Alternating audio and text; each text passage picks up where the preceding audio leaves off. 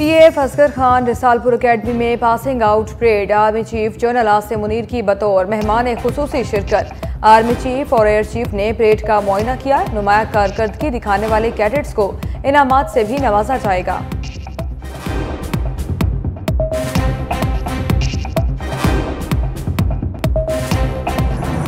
सिंध में क्याम अमन के लिए फैसलों पर अमल दरामद कैसे किया जाए? सूबाई एपिक्स कमेटी का हंगामी इजलास आज होगा।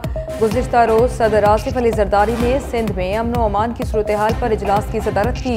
कच्चे के डाकों के खिलाफ ऑपरेशन क्लीनअप का फैसला किया गया।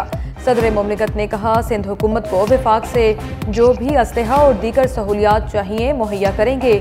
चाइनीज़ की सिक्योरिटी के लिए खसूसी इकदाम करें। ज़मीनों पर कब्ज़ों पर ज़ीरो टॉलरेंस है।